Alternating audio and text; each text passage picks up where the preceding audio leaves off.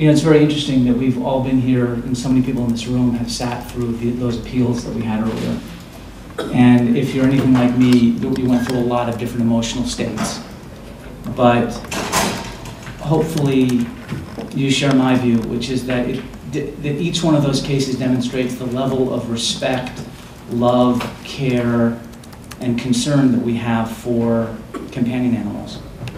Um, They matter to us, so we go through a tremendous amount of process if one of them is hurt or injured. My belief is that same level of compassion, concern, and care should extend to all animals. And both these next two initiatives involve uh, animals that aren't necessarily being kept in our shelters. And that's, you know, we're the Department of Animal Services. We're not the Department of Companion Animal Services. And I want to say this to the animal rights community. It really feels like for the first time, at least in my career as an animal rights advocate, that the wind is at our backs. Almost every week, another great initiative is proposed or passes.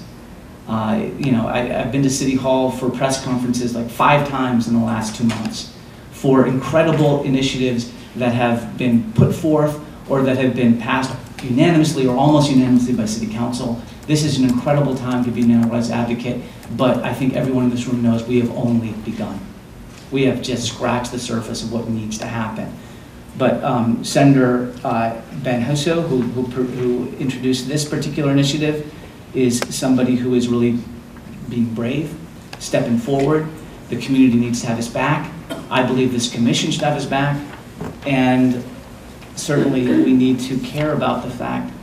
I think one of the things that's so upsetting about the practice of using animals for entertainment is that we're literally cheering and applauding and we're teaching children to be delighted by the unbelievable mistreatment of animals.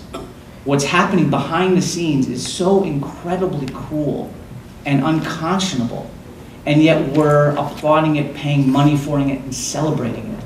So we have to take a look at our own practice, our own practices, and decide: is that humane? Is that sustainable? What can be done about it? And right now, with the wind at our backs, we are in a position where it really looks like the state legislature is going to take this seriously and pass this initiative and make a difference for these animals. And I am so excited that the commission is hearing this. I look forward to the board report, which will be very short. And, um, and I thank and I look forward to the comments from the public as well.